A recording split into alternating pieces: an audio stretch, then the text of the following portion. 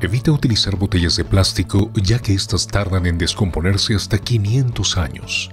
Puedes juntar botellas de plástico con tu familia y entrégalas a los recicladores o deposítalas en puntos de acopio de tu localidad o puedes reutilizarlas para elaborar manualidades creativas. UNSA Ecoeficiente